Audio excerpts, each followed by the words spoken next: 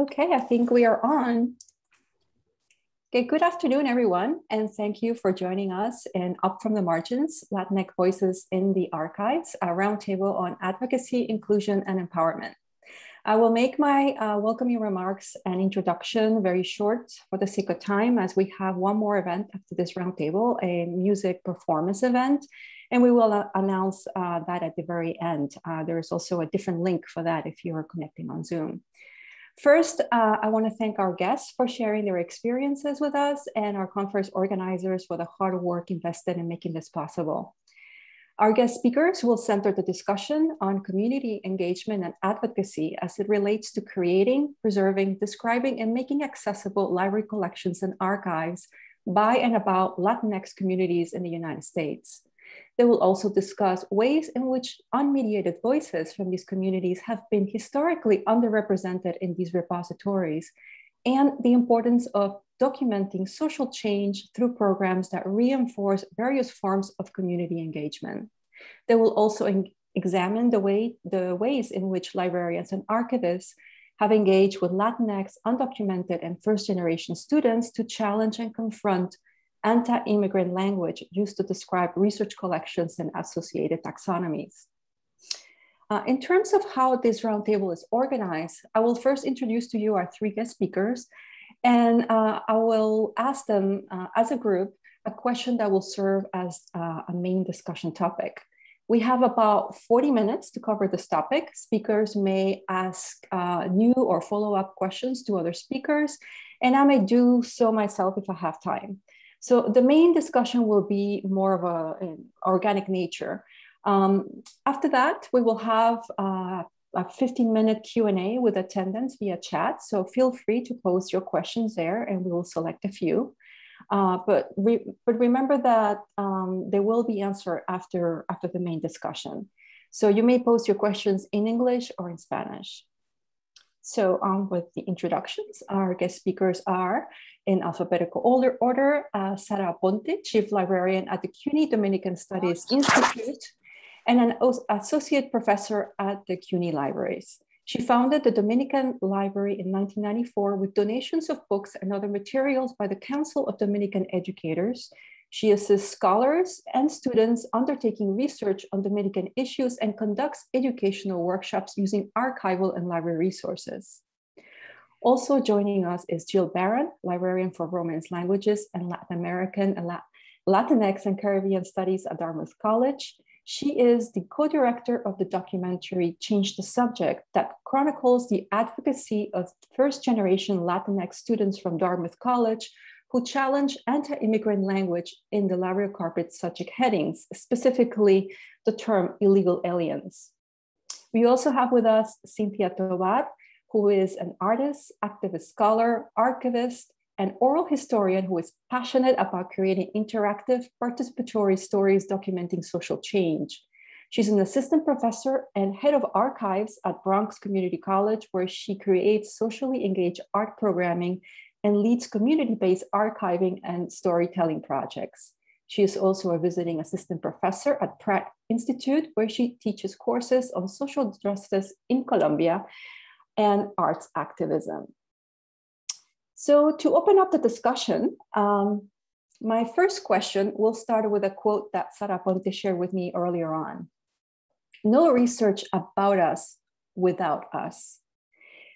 Uh, it is actually the title of a book on another topic, but I find it very powerful and I find it that it resonates with the topic at hand. And I will share the citation of this book uh, with you here in the chat so you have that information um, after, after, the, after I pose the question. So with this quote in mind, I would like you, our guests, speakers, to reflect on your role as heritage workers and or community and library activists. How does your work in knowledge production empower communities? And how do you engage with students and community members to challenge anti-immigrant uh, language and cultural stereotypes? And I will now uh, share this long question with all of you along with two links in the chat. Please jump in.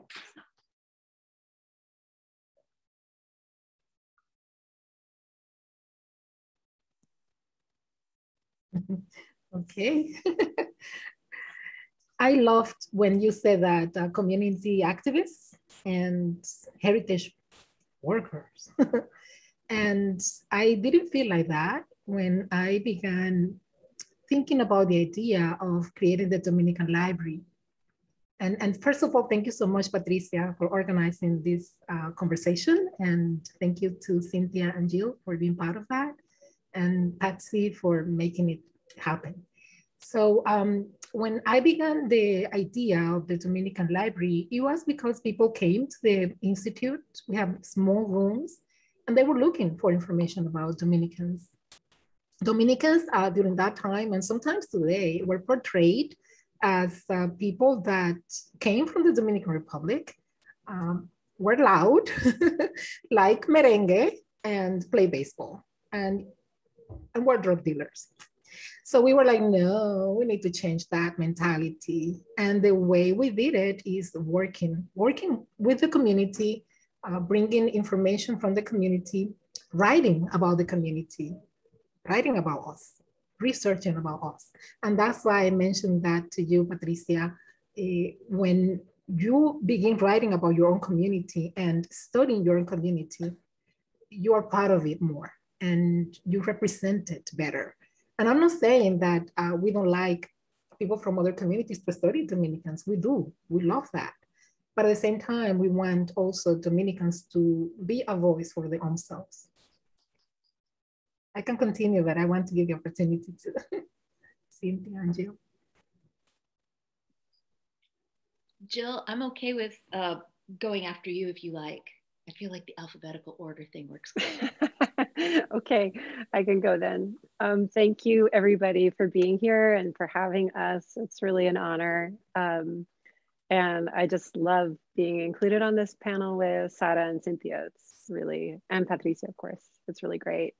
Um, I think this is a really interesting quote and it's something I've um, been thinking about for a while. Um, I guess I could start with why I think I'm here, um, why I was invited, which is um, that a number of years ago, I uh, was in a research consultation with a student who was uh, trying to develop a bibliography around undocumented student activism and um, and over the course of our consultation, she we encountered um, the subject heading that Patricia mentioned, um, and the student was like shocked and deeply offended um, at that at that encounter, and it was a really powerful moment for me um, to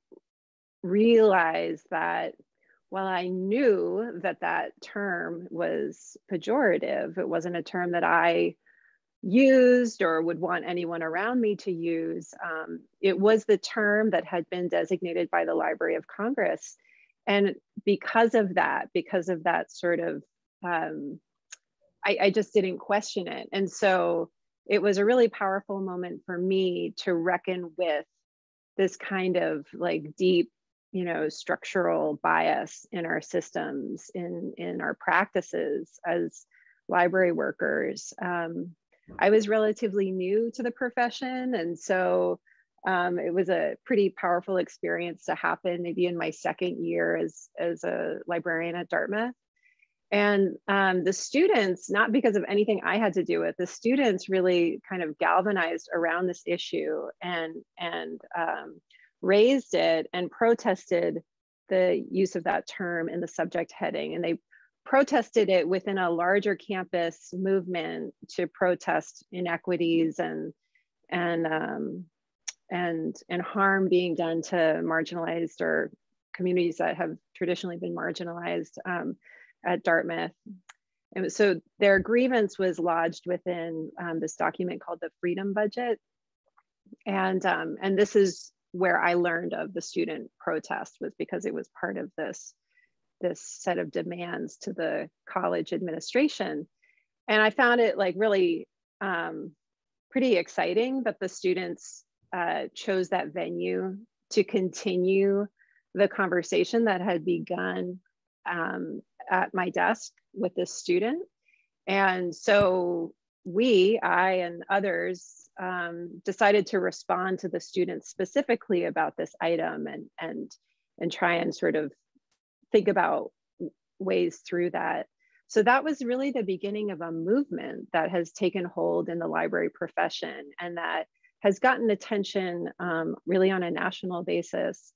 And um, so the film that I made with uh, three other people, we were a film team of four, um, as Patricia said, chronicles this movement and all the sort of twists and turns and ways that it became um, very strongly politicized in the media and even on the floor of Congress. So, um, so it was a communal movement from the beginning that was really shared by, um, led by students. And these were um, a student group uh, that had just newly formed at Dartmouth um, that was concerned with uh, advocacy around undocumented um, issue, immigrant issues. And, but that librarians kind of joined in because it was through our processes and mechanisms that we wanted to try and achieve change. Um, and so the filmmaking exercise was sort of or approached in that same spirit where I didn't feel like I could, I knew there was a really good story there and that I wanted to use film to tell, but I didn't trust myself on my own to tell it. I, I wanted to involve others um, in that process. And it, it, really, to me, was in the same spirit of the original movement that brought us all together. So um, Oscar, Melissa, Sawyer, and I made the film together. And um, um, and and i'm glad we did i think and so getting back to this this quote no research about us without us um you know it's it's it's challenge I, I don't know I, I still feel like a, a, deep sense of complexity about um,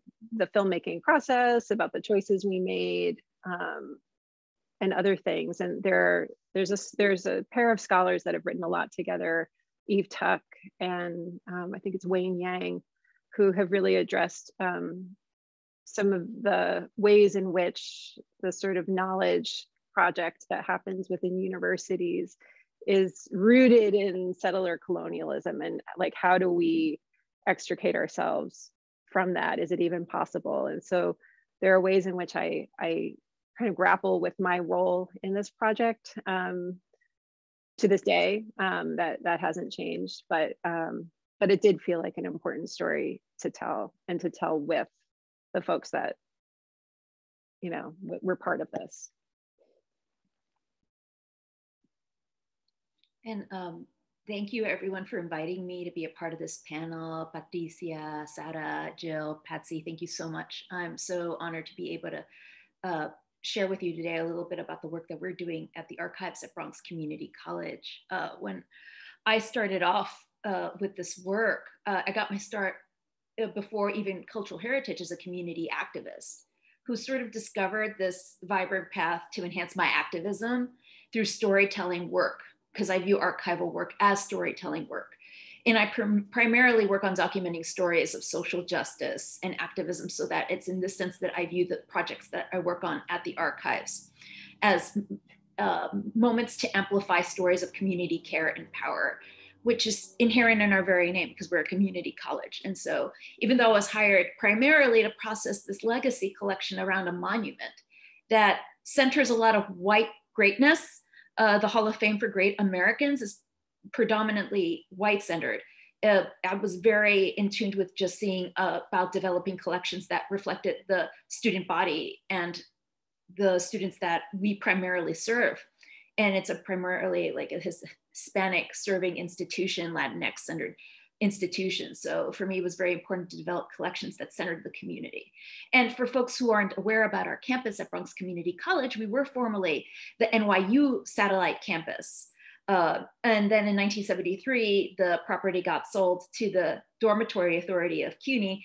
And then uh, Bronx Community College sort of inherited this strange space of privilege which had not been designed with the intention of the student body that it currently serves. So it's just sort of like a little micro history lesson for folks aren't, who aren't aware about the history of the campus. So I sort of view myself in that role as a memory worker who focuses on counter storytelling, uh, which incorporates a more dynamic view of history making by opening up a space that validates uh, narratives that have been marginalized uh, from mainstream uh, accounts of history and uh, spotlight these like underrepresented stories. And primarily, uh, I do this through a lot of oral history work, which closely aligns with counter storytelling in that it's amplifying and including marginalized voices on uh, the narrator's own terms. Uh, I use a community-based inclusive approach to these projects that uh, I get involved with to develop these collections for the archives. So for me, it's uh, very uh, essential to not only it be a mechanism by which I'm voicing what should be centered and amplified, but by standing back and listening to the community to uh, convey to me what they feel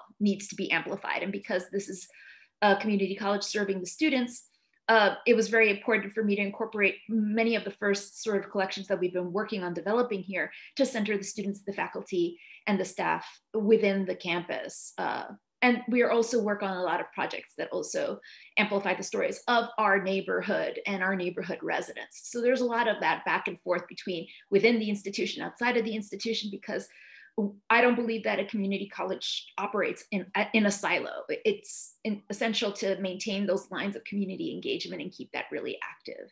So a lot of my other work also focuses on sort of a participatory action research approach when we're thinking about doing these sorts of collaborative uh, projects and we involve students in every step of these sort of documentary efforts.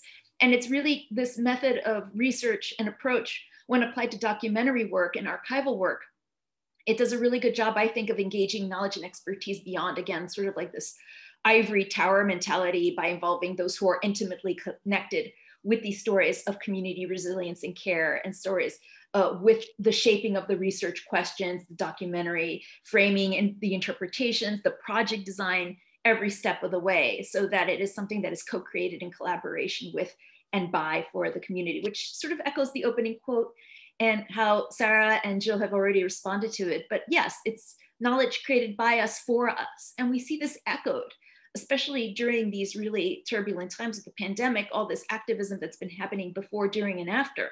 You do sense this sense of like people trying to take ownership and reclaiming back their histories, and how that really uh, alludes to this idea of like seeing yourself represented in the knowledge and uh, those knowledge creation mechanisms, which uh, we want to try to bust forth and disrupt, right? Because knowledge takes all shapes and forms. And even as like stewards of cultural heritage, we have to be really mindful about the way that we choose to document and how we are included. And maybe perhaps even thinking about this in a post custodial fashion, right? Maybe our role isn't to just take collections in. Maybe our role is to advise and to be allies and partners with community uh, groups and members so that they can design and decide for themselves what this community history will be shaped like and what, what, what, what will it look like ultimately. Um, so one project that comes to mind, which I think sort of alludes to the main question Patricia uh, posed earlier, thinking about how do we, uh, as community members, uh, like challenge these anti-immigrant language, these stigmas, these stereotypes that people perceive, people from outside. And when you think about the Bronx, like already, wow, like, oh, it's always been at the very bottom of the pecking order within New York City and just within the cultural like zeitgeist. Uh, thinking about also the Latinx community that is primarily serviced through uh, our college, as well as uh, it's very POC centered. Uh, Raising Ourselves Up was one of the first collaborative oral history projects we participated in developing for the campus. And that was done in collaboration with Professor Nelson Reynoso, who is now currently with the social sciences department within Bronx Community College. And so uh, collaboration between him and I, and we recruited these students to do the oral histories to again sort of raising ourselves up oral histories of first generation college students at bcc to document the stories of first generation college students on our campus and we believe each student's time at bcc is unique yet all students are bound to each other by this uh, shared sense of struggle towards achieving that one barrier towards social and economic mobility, right? A college degree, and how a four year degree might not be the automatic route for many students. And so we really wanted to document those stories, but we also wanted the students to have a say in how those stories and those narratives were taking shape. So using video oral history interviews, we recruited students to uh, examine the challenges faced by uh, majority low income, working class groups of peer students from various ethnic, racial, and immigrant backgrounds. And they would identify the narrators, and then we would train them in the oral history methods, methods themselves. And then they would be the ones doing the interviews. So it wouldn't be Professor Tobar, it wouldn't be Professor Reynoso, it would be student to student, peer to peer, which automatically opened the narrative structure. Uh, the students have a different a level of comfort talking about and sharing their stories. And we thought this was really essential and uh, hopefully amplifying sort of the mission of the school, which is to, you know, we're serving historically underrepresented students in higher education. And we're hoping to bust those myths and also sort of put up a mirror to administrators in colleges and community colleges thinking about these are the challenges, these are the way that they're demonstrating resilience, but listen to the challenges that they're also sharing too. And how can we, as uh, college administrators, professors, faculty, support staff do better by these students. And so we thought this would be a really good mechanism with which to highlight these issues. And within the interviews, we start to see threads along systemic racism that's sort of embedded within higher education. We start to see uh, the challenges they face, predominantly our groups of uh, Latinx and first generation students in trying to, again, uh, fight that counter deficit storytelling line about like uh, they're busting those myths within those narratives that they're able to uh, collect and hear from one another. And we also thought it was like a wonderful way of like drawing a mentoring opportunity for students as well. So it was sort of like a multifaceted way of approaching a documentary project but we feel really proud about it. And we were able to collect these video interviews. And I'm happy to put the link in the chat too for folks who want to like uh, listen to those. And since that project, we've been involved with other methods, but we always try when we're doing these documentary efforts to really involve the students because again, it sort of like echoes that that ethos, the uh, for us, and it sort of keeps us honest. It, it keeps us in check to see that what we're doing and what we're documenting is mindful and is culturally responsive to the communities that we're hoping to serve with these stories.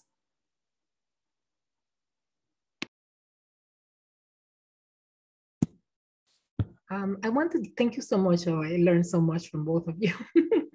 but one thing that I wanted to mention is the what you said, um, Cynthia, about students and it comes to mind a word that since I began at the Institute, at the Dominican Institute with Professor Silvio Torres Saillant, then Dr. Ramona Hernandez, nurturing. That sense of nurture your own. And not only on cultures, but your own student bodies, your own um, workers at, at the place that you are. And what we have been seeing is that Many Dominican students are coming to the Institute as volunteers because they want to reconnect to their roots. Being born and raised in the United States. And we have examples. For example, we have Jhensen Ortiz, who is now the librarian at the Institute. He has two masters and he began as a volunteer with us. So he also interned with us in the Bronx. So that's it.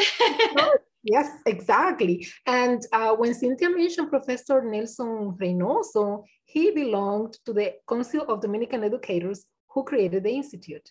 So it's a beautiful connection that we have there. And, uh, but I wanted to mention that the word nurturing, um, and I was nurtured when I came to the Institute. I came as a college work student. And little by little, because of the example that I saw, because of the hard work, that's what we have now. But I wanted to mention that.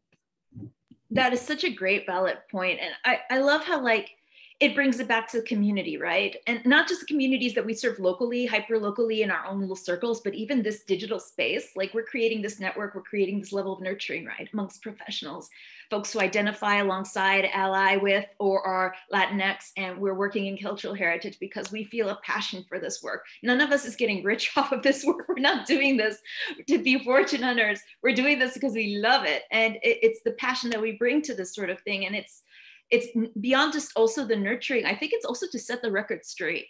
I feel that matters very much because, especially when it comes to higher education, this idea of like the deficit storytelling, and because I study uh, and I'm currently involved with a higher education program, the higher education scholarship, when they talk about marginalized groups, first generation students, uh, the research, uh, we're hoping to provide uh, documentary evidence, archival collections, and primary source material that reflects that this type of higher education research in this regard is also grounded in the experience and knowledge of people of color, Latinx uh, students who present their counter stories to this sort of deficit story, uh, uh, storytelling narrative you hear in some of the research and thinking about how like these stories can be like theoretical or pedagogical or uh, any kind of like a uh, research tool to challenge the marginalization that we see firsthand when we're servicing students and servicing researchers who want to touch upon these topics um, and promoting more of that uh, form of social justice within the scholarship around higher education access and access to higher education and how those barriers keep people out and what we can do to dismantle those barriers, I think. And I love how it sort of aligns very well with your film and the topic of your film, Jill, because it's like sort of like there's so many nuances to that, right? It's not just about what we're collecting, but how we label it, how we categorize it, and who holds those, who holds the power to determine that. And it's like, shouldn't it be us? Shouldn't shouldn't we have a stake in the way that we label or are categorized? Or why do we even need to be categorized? Like this isn't representative of how I feel. I'd love to get your take on that.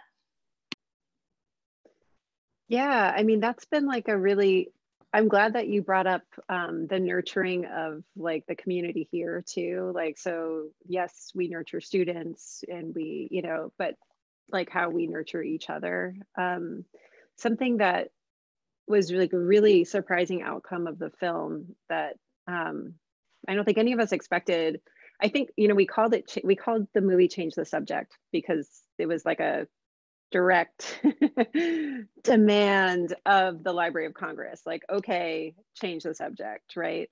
Um, what we didn't expect was for that to continue to not happen at the Library of Congress, but also for libraries, for people, um, heritage workers across the country and really in, in parts of the globe to commit to making local changes to that subject heading and not just that subject heading but saying you know what we have other problematic subject headings and other problematic forms of description in our archives and we're going to address that now because we see so i don't want to say that the film is entirely responsible for that but i think the film happened at a moment when that kind of consciousness was starting to grow across the library and archives profession and um, and it it like it like hit a, a, a note for people that oh okay yeah I need to sort of take action in my local space um, at the local level because it's not happening um, on at this national level or at this system level. Um, and I think that was like a really surprising and amazing outcome in spite of like the frustration of seeing the continued um, intransigence of the Library of Congress. Um, at the same time, like, I don't want us to kind of like pat ourselves on the back and be like, woo, like, look what we're doing, right? Because it's like this, you know, the there there's a lot more work to do. And um, and you know, we've gotten all kinds of feedback about the film, like positive, negative, you know, in between. Um, so it's it's been a really interesting experience to see that like you know this film does resonate for a lot of people.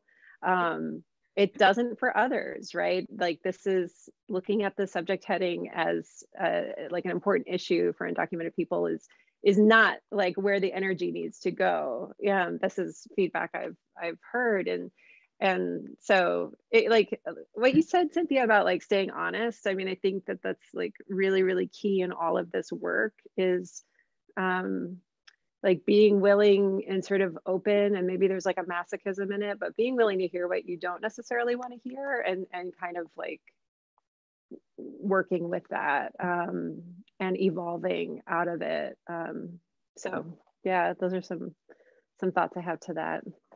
You know, Jill, um, when you mentioned give, like patting ourselves in the back, why not? Why not? We're doing it because we want to do the same thing to others, and that's nurturing. and when you do it to yourself, then you're strong enough to continue passing that along. Yeah. And one thing that I, when uh, they recently interviewed me for an article, a beautiful article about the beginning of the, the library and the institute and all that. And I, I regret that I didn't mention SALALM, which mm. is an mm. organization that we belong, Patricia, Jill, and myself and other people in the audience. SALALM is the seminar for, can you help me? Seminar for the acquisition Acquisition of, of Latin American library materials. Thank yeah. you. it's an organization that we, I, when I came to SALALM, I felt that I belonged. Mm. And as a, um, an immigrant, right, a, a librarian that was beginning to, to do work that was not supposed to be done by, by an immigrant, by a person that does not speak the language well, uh, by an Afro-Latina, you know, all of that, this uh, uh, notion. I remember going to one museum because I was looking into museum studies and library studies. And I went to a museum and the person who um, saw me, he, she said, that, that career is not going to be good for you. And also library studies. And I'm like, okay. right? And those discrimination, and we talked about anti-immigrant language, and that's anti-immigrant language right there, very strongly.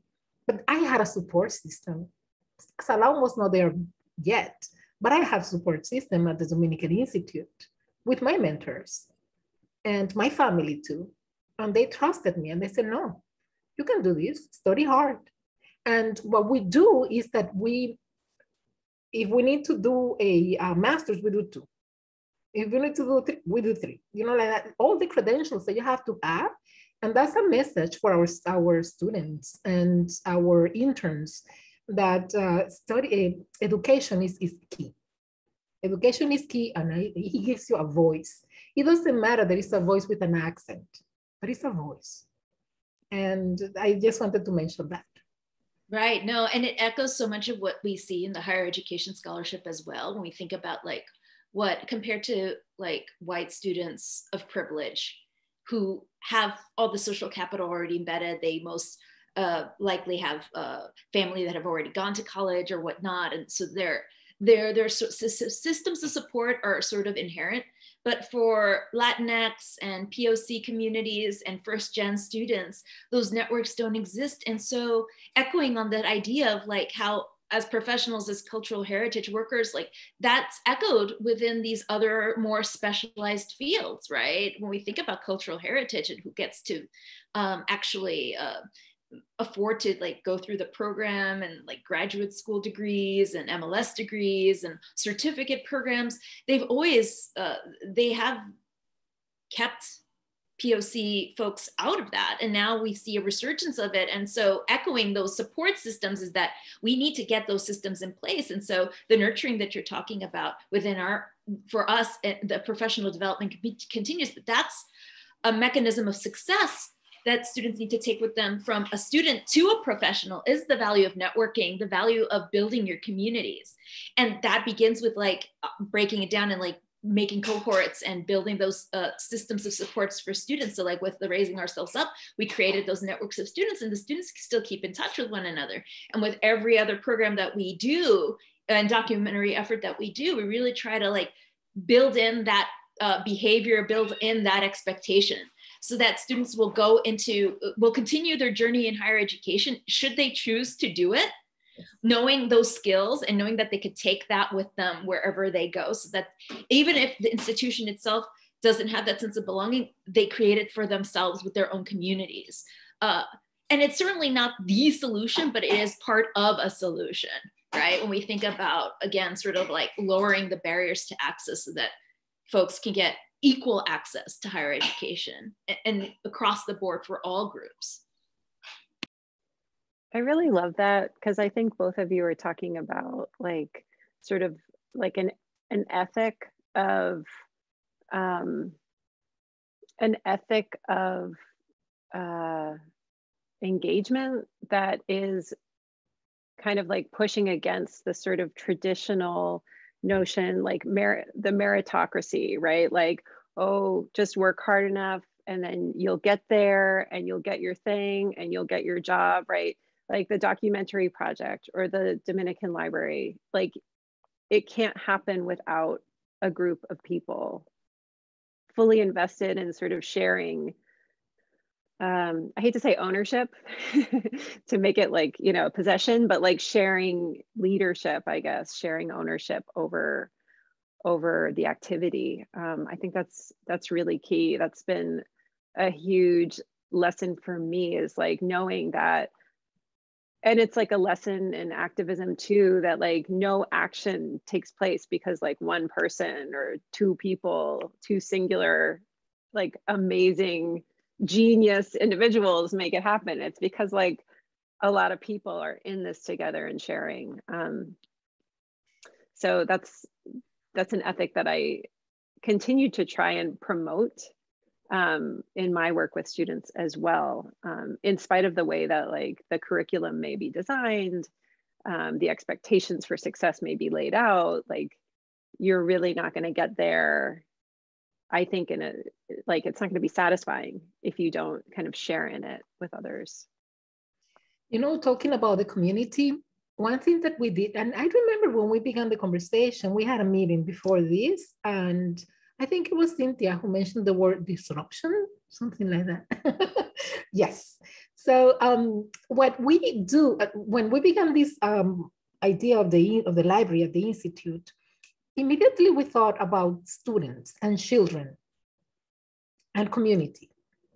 And one of the things that we uh, um, tried to do was the college, City College that we belong, and has been great to us, that they allowed people from the community to come and visit us. They are not allowed to other places in the building, but we made sure that the security guard knew that the, the, our library was a community place. Of course, and higher education institution, but open to the community, an academic library open to the community always, because we began with the community. Because of the community, we exist. And another thing that we wanted was children. Why? Especially our Afro Latinx children. One, because we wanted to expose them to a college environment. So invite, we invite them to come to us. Second, because we want to expose them also to archival materials primary sources. They can handle those materials, of course, with the appropriate uh, cuidado and all that, yeah? But, but they can man, uh, handle it and understand the importance of archival work. And third, for all them to come and see who is behind the archives in the library and it has been very successful. We have, uh, and the, the beautiful, beautiful thing happens. We have a very good relationship with a professor at the School of Education at City College, Professor Fraga. He's a Cuban, um, an immigrant from Cuba, uh, but his family is from Cuba and all that, but he lives in New York. And he brings his students to us. Those students become teachers and they bring their students to us. So that's a beautiful circle that we have created. And many times also they, they bring the parents of the children. So again, you see the community come into this uh, world and sometimes they feel like it's, it's so far and they don't belong, they don't understand. And also to begin playing that in the mind of these kids that they have to go to college to get a better education. Right. No, um, it's like it, it, does such a great way of like sort of prepping them, right? It's like they're pre-college, right? Exposure to college. And I think also I'm interested in learning what those challenges are now that cal- the college campuses have been closed during these past 18 months and they continue to shut down and reopen and shut down and reopen due to this pandemic environment.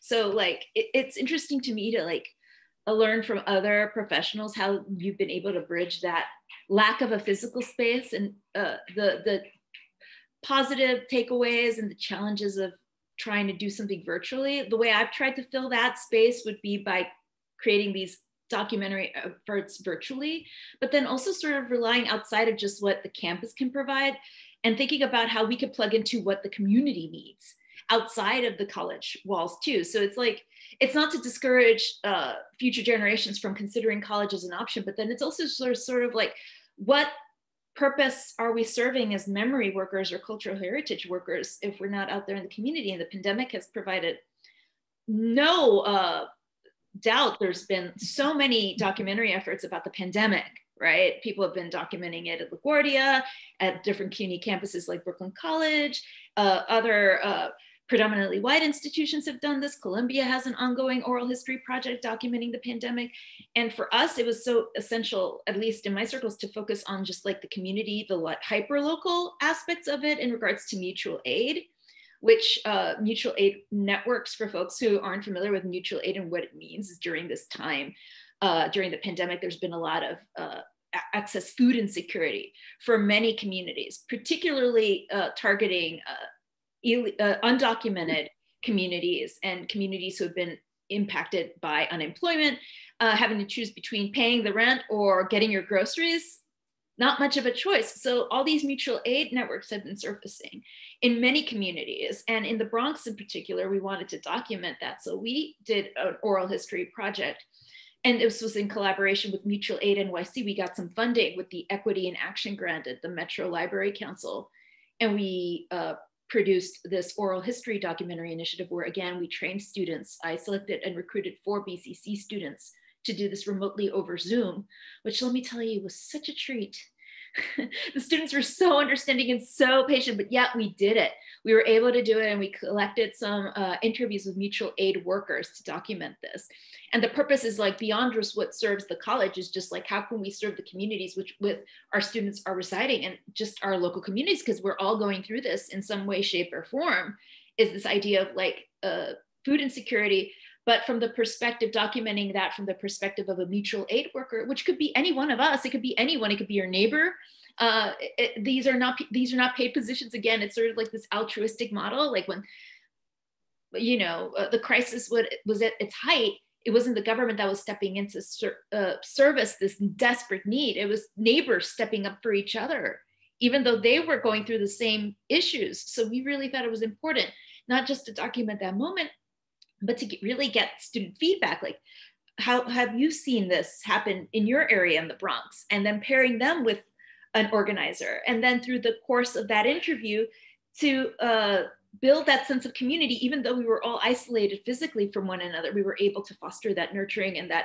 role model the mentoring opportunity for students. So it went beyond just the value of documenting a collection by us and for us too, but it's also serving some sort of like a higher purpose of public good and also serving as a way for uh, giving students that level of resilience because we all know, God only knows, this has been a really trying time for a lot of people.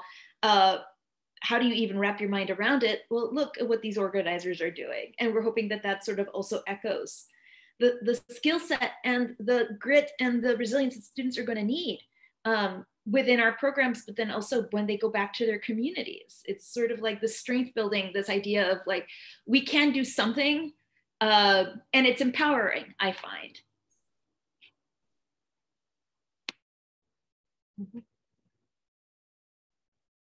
I am going to soon open up the Q&A. Uh, so I'm asking um, actually going to send a uh, chat right now for everyone to start sending uh, questions and we will uh, hopefully get a number of them that we can just share with you, uh, our guest speakers. But um, uh, waiting for those questions, I have a, a question for you, and it, it, relates to something that was mentioned earlier on in a conference. I can't remember exactly who brought this up, but um, speaking of scholarship about the Latinx community here in the United States, um, uh, somebody mentioned the concept of activism versus academic activity and how they may intersect, but they don't always go together. They, they don't always have to go together, right? Um, but uh, it, I, am thinking this may be primarily for Cynthia and, and Sarah, although Jill will have more to to share as well. But in turn, you are you you have um, faculty status at your at your institutions. Is the work uh, of community engagement, uh, this heritage work, this activism work, is it considered scholarship? Is it considered part of your uh, academic portfolio, for example? It that? Qué buena pregunta, wow. Directa. okay, yes. Um, it happens that I am now um, applying for full professor. So yes, con Dios delante. So um, trying to organize my everything that they ask, I have a lot to do with community, right? But I also did my publications and I also did my, um, what's the other one? Service publication and, and student service, right? Mm. Well, you make it work. You make it work. You do it in a way that even though you cannot put everything, because as, as Cynthia said, many of the things that we do, we do it because we know that it's important and it's needed, not necessarily because it's going to help us uh, advance in our careers. In that sense, in the sense of, of how the hierarchy in CUNY looks like. But um, at the end of the day, you make it work. Because for example, the other day, we put together a seminar, a workshop with MoMA, and a Domin Dominican artist called, uh, called KOS and the School of Education at City College. And, but one of the things that we made sure was that it was recorded, it was uh, translated into Spanish. So now we can make it available for the community. So that counts also as a community work. So in that sense, that is difficult, but you, nada es difícil si tú te pones en, en, en cintura, ¿no? Como decimos los dominicanos. So yes, but thank you for the question, Patricia. Yeah, no, that's a really great question. I always have to like sort of preface my answer to something like that though by prefacing that I feel that uniquely blessed because I work at a public university system like CUNY, which has such a history of advocacy. Right. So it's not as tough of a sell for those of us working in CUNY to advocate for the service component, and particularly at community colleges where they, they spotlight community service, public service leaning activity uh, it, it, as its own little leg in that. So you have your scholarship, you have your teaching, and then you have your service. Uh, and so you have to sort of balance it carefully still, because then it's like sort of like um, uh, be, between the disciplines, it's perceived differently, like what service is. But again, sort of being blessed working at a CUNY campus, working at a community college, uh, the, that community activist leaning work, you can make it work. Uh, it, and pair it off with basically your mission and just sort of like your personal statement. And again, sort of like uh, for me, it's so deeply embedded with the work that I do. I don't find a distinction between my scholarship and my activism. They're really tightly intertwined. So for me, and because I also do a lot of this work through socially engaged art making, because I identify as a socially engaged artist, for me, it's pretty it's not that tough of a sell but i could see that it could be challenging for folks like to make that work and i really uh, find allies within your institution if you find it challenging see what others have done um, as much as you could feel like the lone person who's doing this sort of community engagement level work and you want to see it recognized and taken just as seriously as a published article or a book, um, see what others in your campus or in your institution are doing and, and form that community. Seek those folks out and get advice or uh, outside of other institutions and see if you could trade secrets with one another and see what's worked. Uh, there are ways of making it work, uh, but yeah, I, I find that that could probably be more challenging in institutions that don't value it. So like really do your homework, get a lay of the land and see what your institution is able to value and see if you can uh, rally folks together to get to advocate for, to get that more transparency, like to surface that up to have that valued by administrators because Eh, I wish it were more transparent, but unfortunately, that's like the one thing in academia that seems to be the most opaque. and I'd be interested to hear what other folks have done from other institutions to like sort of make that sell. But that's what I would do in that situation. It'll be a whole panel, a whole conversation. That would be very interesting. Word, word. I don't know, Jill, if you want to add anything, but I can have like a follow up to that where you, you can actually have, um, I'm sure, something to say. And it has to do with the uh, notion of disruption. We, we talked about this, you know, uh, since uh, the Latinx communities have been underrepresented in these repositories and um, maybe not so much in the community colleges, but but definitely in, in the other other schools that Ivy Leagues, for example, um, you know, they have not been uh, traditionally been present the way they should. Um, is disruption necessary to convince people to validate this work, to to bring these voices um, to our faculty and students and the community, the local community as well? Yeah, I think so. I mean, I, I, I, feel like the consciousness around these issues has definitely um, grown and improved over the past couple years, um, given everything that's gone on in this country since 2020. Um, but I, I will tell you that, you know, when I made the movie, um, I had this idea to preserve the interview footage from the film um, and to kind of create a, a, I can't really quite call it an oral history collection because oral histories follow a certain methodology that we didn't necessarily use in our interviewing for the film. But the interviews for the film contained so much content that we couldn't possibly use in the film, right? So we took a 45 minute to 60 minute interview and used maybe like the two minute sort of like choice quote that fit in a certain place. But the rest of that material was really powerful. Um, and, and I wanted to, to, to preserve it and, and provide um, access to it. But, you know, it was a struggle to, to kind of prove the um, necessity of doing that.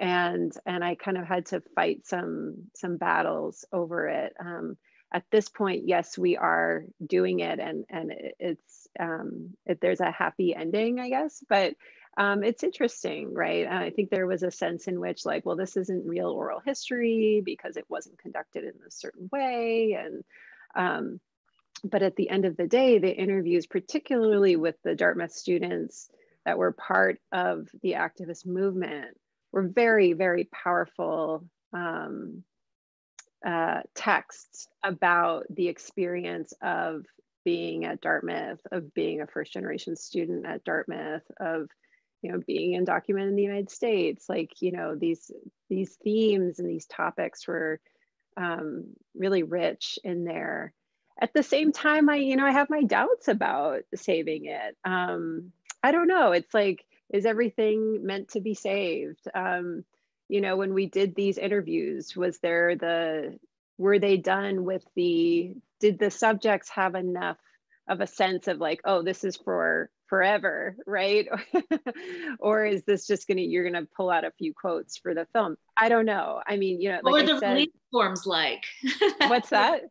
The release forms what did you put in for the release forms? Yeah yeah no we were clear with our release forms. Yeah. um so you know like this is the quote property of dartmouth college and you know um, we can do with it what we want. Um but uh but still do you know what i mean? Like for me it brings up questions um about well when we think about uh like an interview as property when we think about it as like it's the now it's the property of the library. Cynthia you mentioned um, the post custodial question before you know like where should this thing be? How should it live on? Um, i guess i i sort of ask a lot of these questions and at the same time sort of try to do the best i can to and and try and prioritize the things that i think are are most important. But um, I think the disruption, I think it's useful to also ask oneself these questions. Like that is a disruptive process too. Mm-hmm. You know, does is this is this the right thing to do? Um, right. right. And if you wait for the institution to make up their mind, you'll be waiting an awful long time. Right. Uh, sometimes, right. like you need you need you need to have a little bit of that mm, to keep people in check. And sometimes within higher education, it's a very slow glacial place, very bureaucratic, you know. Uh, part of me is like, yes, you do need that little disruption every so often. I mean, uh, move along to get along or get along to move along. Like, you, you know, you could go that route, but sometimes you do, you do need to like have that outer space to keep people in check so that, you know, people re- better recognize like you know we, we need a little more accountability i'd be interested to see if you would ever consider jill revisiting your narrators like in getting checking to see consent to see if they'd be interested in preserving it and seeing if that might be the beginnings of maybe perhaps preserving it if the narrators feel comfortable with it too. Have you thought about that or i'm sure you have. Oh yeah yeah yeah. We've we've been through this process for a while now and and everybody i think is on board but there are questions right? There are always questions. There are sensitivities. There were certainly things we had to go back and redact because once and i wanted to give everyone the opportunity like this is you. This is this is your voice. What do you want to be there? Um, so you know there was a lot of that sort of like high touch back and forth um, about about preserving and, and, creating an archive of this, these interviews um, mm-hmm. But I, I, think it just raises a lot of questions for cultural heritage cultural heritage institutions to, to ask themselves um, is it always the right thing for like a predominantly white institution to make these kinds of choices um, I don't know. I, I think yes, but yeah. So I have a question from the chat that I like to uh, share with you. Uh, this question comes from uh, J. Sylvia Cho. Oh. Uh, thank you to all panelists for this thought-provoking presentation. Uh, question for Sarah. Your point about nurturing and mentoring is so important. Do you have any advice, comments on how to become a good nurturer, mentor based on your experience? Hi, Carlinda. Sylvia is a beautiful friend. She is a librarian at uh, the Graduate Center. so thank you so much, Sylvia, for the question and for being here. I, how do you become a good, I think that since I was nurtured, it was so natural uh, for me to just do it. And again, disruption goes in here. Y entrometida, y like a mama, you know, I'm so sorry, but that's the way I am with the students that come to us. And I, we see an interest eh, in them and we see the potential. And, and then we begin um, giving them um, information about different, one thing that Dr. Uh, Professor, no, Don Idilio Gracia Peña, the chief archivist of the Institute, he has uh, created an, an, internship program and is a different type of internship. Um, because what we do with the students, they come to us and we don't just teach them how to uh, write these finding aids or do archival work, but also how to manage in an, envi- in an academic environment or in um, an, an employee, uh, if they become employees and all that. So we get like a family and I know that some people are, don't like that, but that's the way we have been doing it at the Dominican Institute. We are a family, we care about each other, but at the same time, we respect each other. I think that's the key. And respecting if a person doesn't want to do this, okay, we let that go and we help the person to become whoever the person wants to become. But we have beautiful experiences at the Institute with the students. We can spend the whole day talking about them and where they are now and how they get connected, keep connect connection to us, etc. So Silvia, we can talk about this whenever you want. En, en, bebiéndonos un té.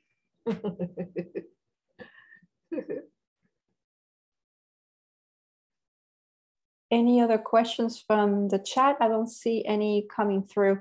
I will ask one uh, that I got earlier on from one of our colleagues, um, curator at or bibliographer at the New York Public Library, Paloma Celis Carvajal. Um, she maintains and curates the collections that uh, for Latinx and Latin America and the Caribbean. So uh, she mentioned that it would be interesting for us to um, to talk about neutrality, you know, because curators are cannot be are not neutral you know, curating collections is never a neutral uh, endeavor. So what about, and maybe this can go hand in hand uh, with uh, our discussion with uh, that had to do with disruption. Should we be neutral? Uh, do can we be neutral? I'll let that. I'll leave that open for you to discuss. Yeah. Short, short answer. no, no, I mean because it, it's sort of like the myth of objectivity in academic research too right this idea that you can be a qualitative or quantitative research and what's been valued in academia has been to be sort of like but but you must be objective but yet everything from the research instrument to the topic that you decide is subjective so collection development policies subjective right? Uh, in its own in its own way. I'm choosing to uh, set the parameter that i'm going to develop a collection from this year to that year. That's someone who made a decision about that. That's not objective. Um, but not to make light of it either. I'm not trying to be disrespectful in any way but yeah no i mean I find it quite challenging whenever I encounter that language in any kind of discussion around research or cultural heritage, this idea of neutrality or objectivity. I, I don't believe it exists. I feel like what would be helpful is to just be more open about how subjective we are and owning up to how subjective we are.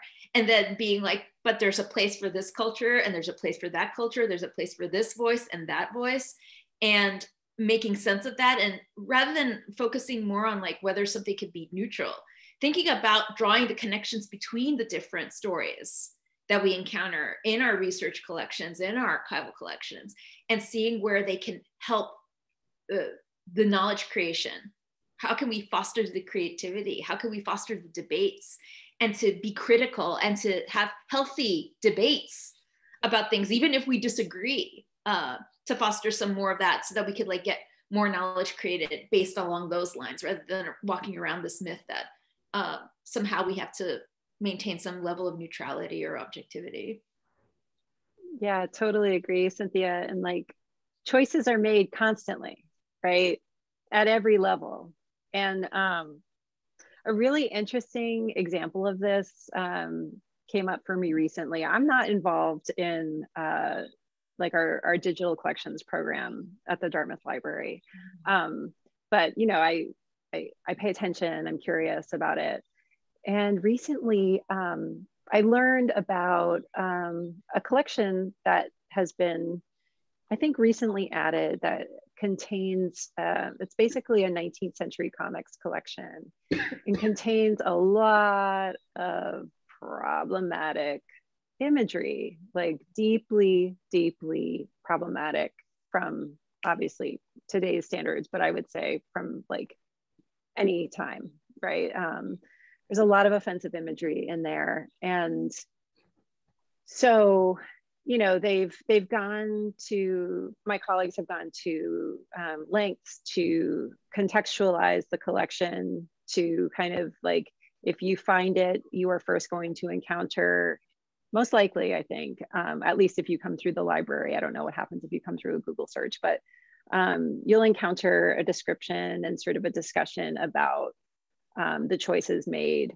in uh, digitizing and making available this collection. But um, I don't know. I feel like I'm I'm really I struggle with it because right. I feel like you know, why do we need to make that? Why is that the thing we decide to input our resources into? Like, why do mm. we put our labor and time and, and money into making that available when we know that the imagery is offensive? We know that it's harmful, right? And so, on the one hand, I hear the argument like, well, this is just showing us who we really are as a culture as a you know like what our what our roots are historical roots are. And i like and how racist you know this country has been. And i think that's true.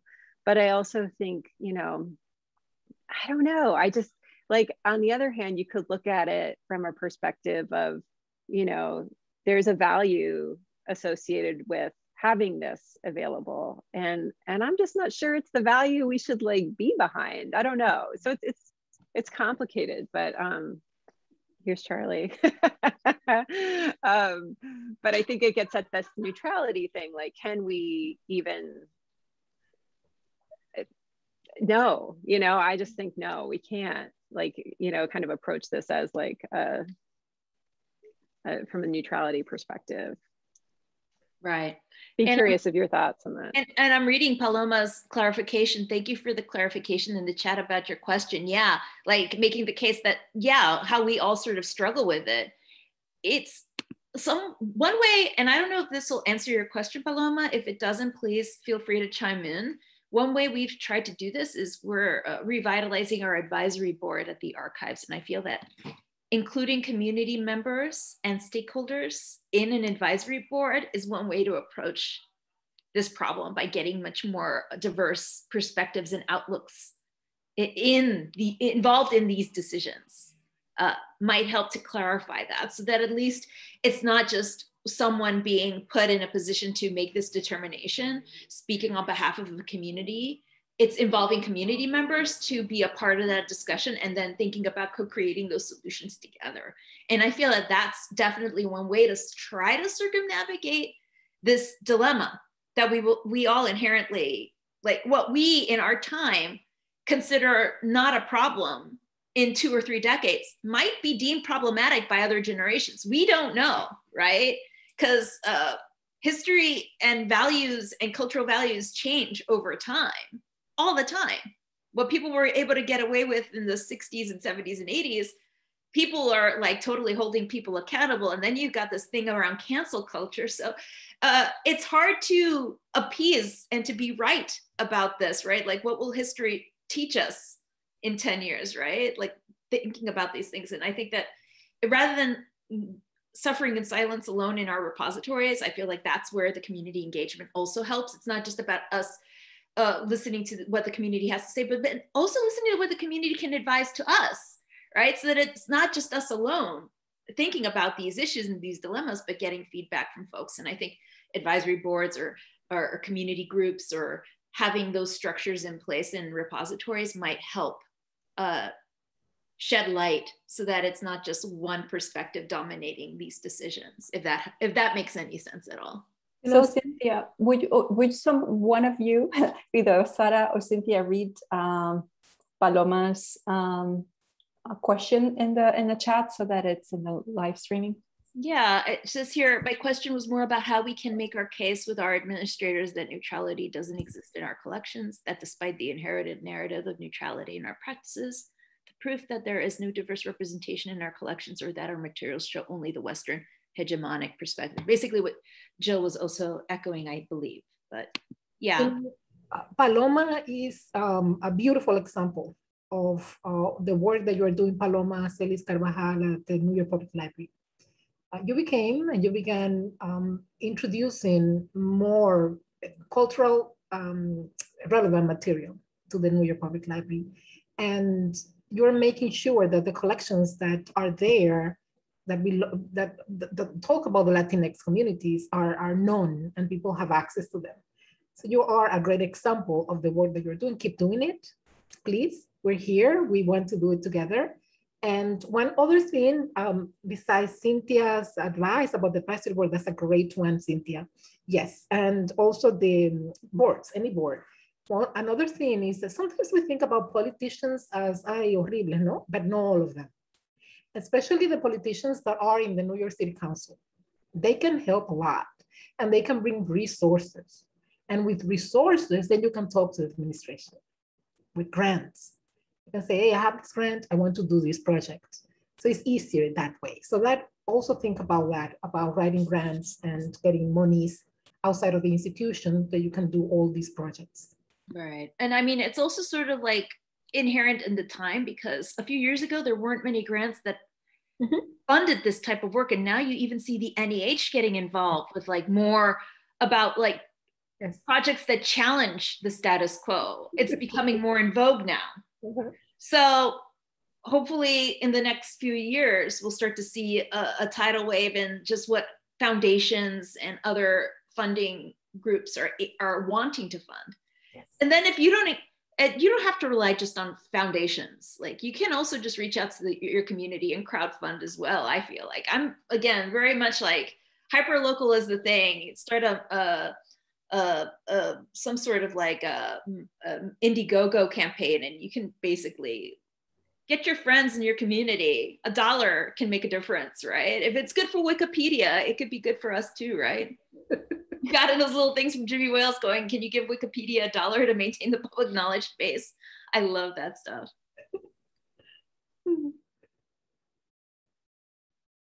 So any more questions in the chat? I don't see any. I'm thinking uh, we have until uh, 6.15, but uh, we can end a little early. This is a difficult time of the day. People are commuting, people are going back to work, they're preparing dinner, and they're also getting ready, in this case, for our next event uh, of the day, day one of the conference, which I will share uh, with everyone in the uh, chat in a minute.